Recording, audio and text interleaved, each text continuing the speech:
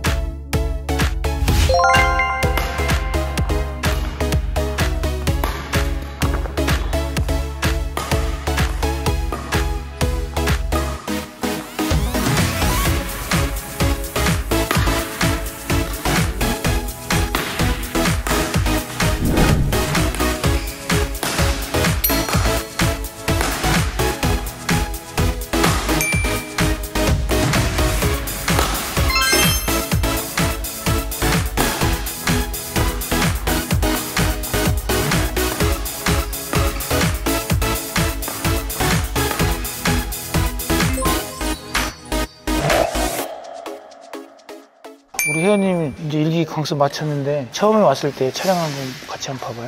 네. 본인이 이제 여기 와갖고 배드민턴 기본 이론을 많이 숙지를 했죠, 그죠? 네. 이해가 많이 됐으니까 한번 본인 스스로 한번 잘 봐봐요. 분석을 항상 몇 가지로 하는 거죠. 세 가지로 그죠? 그립법이 좋은가, 스윙 타법이 좋은가, 푸드웍이 좋은가 그런 부분이 전하고 후하고 본인 스스로 한번 잘 봐봐요. 이론적으로 많은 지식을 쌓았으니까 스스로 그런 걸 찾아낼 수 있으면 배드민턴 상식이 엄청나게 늘은 거죠.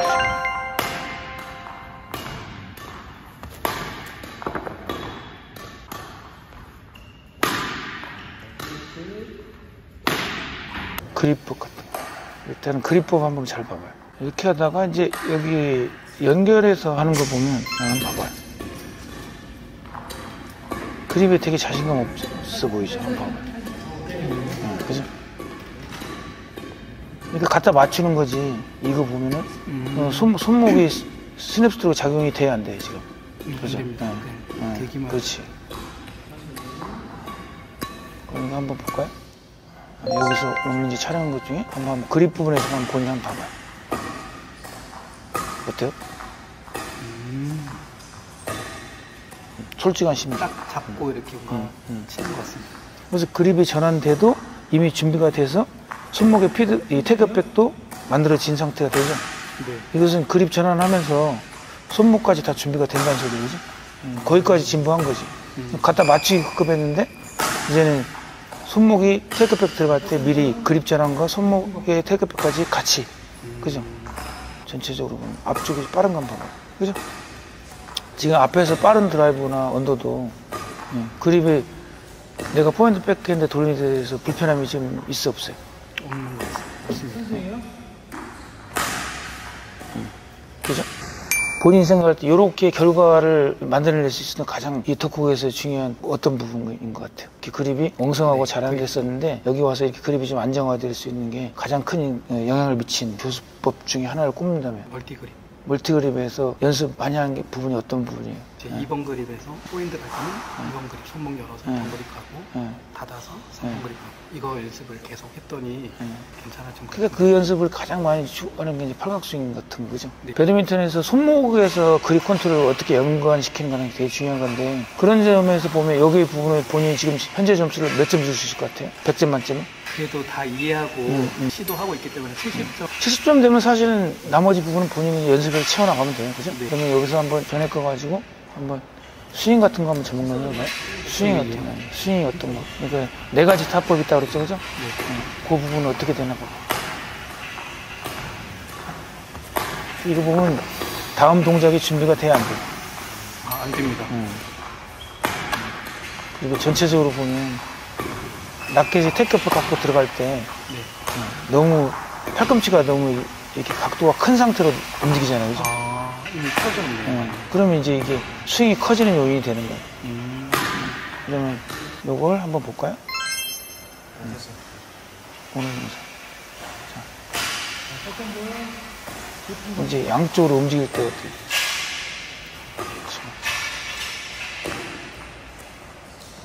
음. 자, 그죠? 음. 지금 들어갈 때 좌우 테이크백 들어갈 때 네. 예, 팔꿈치가 이렇게 너무 열려있지 않고 적당히 각도를 유지하고 가잖아요. 그죠? 네. 뭐 백핸드 할 때도 봐봐요. 어때요? 음. 지금 달라진 자세. 한번 음. 먼저 볼까요? 좁혀 들어가서 던질 때 스냅 스트로크 완벽하게 쓰고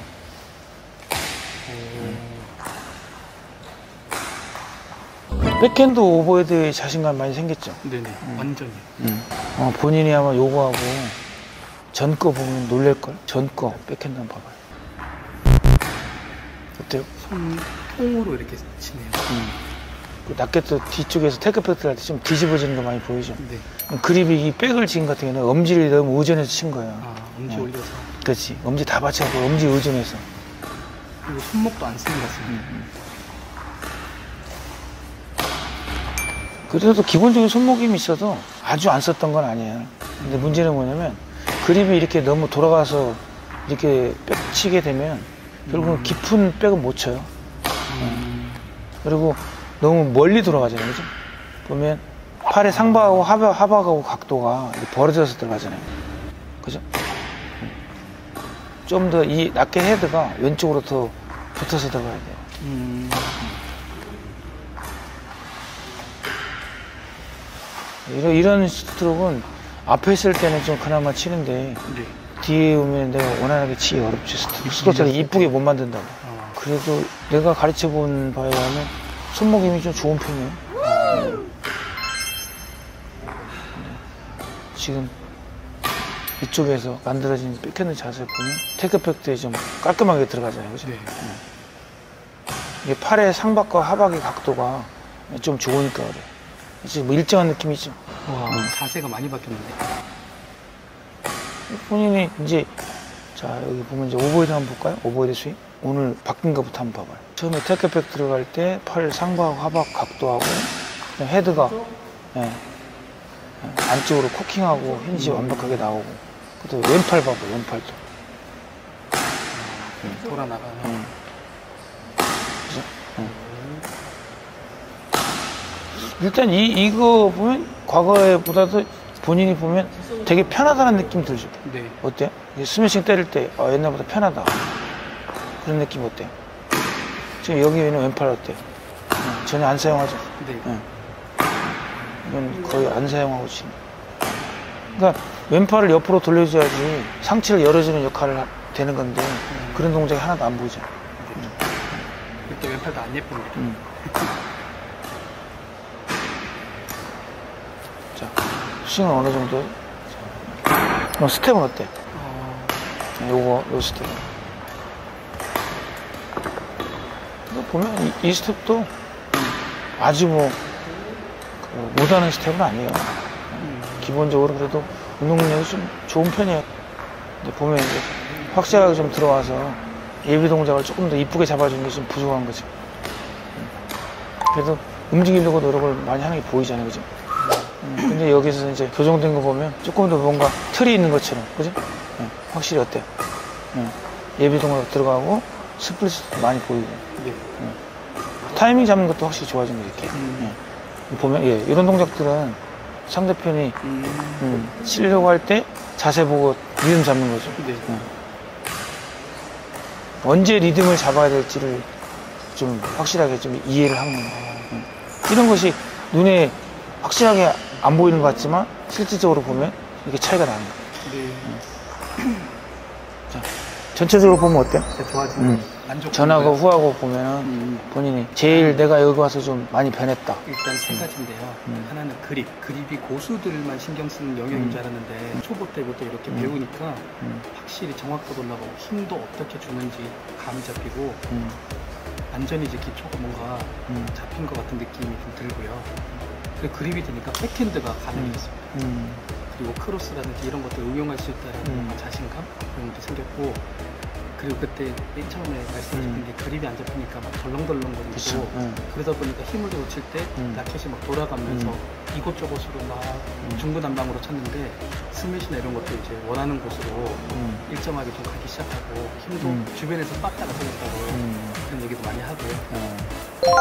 완전히 좀 많이 좋아졌어요. 그 그립 부분에서 보면 그런 거예요. 어떤 배드민턴이 손감이 좋아야 잘 친다는 소리가 있단 말이에요. 감이요. 손감이 좋아야지. 네. 그러니까 발로 친다는 말도 있지만 또 손감도 좋아야 된단 말이에요. 음. 그러니까 그런 부분에서 그립이 섬세하게 손에서 컨트롤 돼야지 다양한 각도도 나오고 강약도 조절이 된단 말이에요. 네. 그리고 아까 봤지만 처음에 했을 때는 좀 손에서 덜렁덜렁 거렸는데 지금은 힘이 빠진 상태에서 뭔가 섬세하게 안정감은 있는데 그립 컨트롤은 오히려 더 잘 되잖아요. 그죠? 음. 그런 것들이 이제 손목하고 이렇게 손목하고 그립 컨트롤하고 맞으니까 그래요. 음. 근데 손목은 가만히 있고 라켓만 뺑글뺑글 돌리는 이런 습관은 어떤 때는 면이 맞기도 하고 안 맞기도 하고 그런단 말이에요. 그런 측면이 좀 많이 바뀐 거죠. 음. 그 손목을 활용해서 그립 컨트롤이 좋아지니까 본인이 한번 많이 느낄 것 같은데. 네. 예.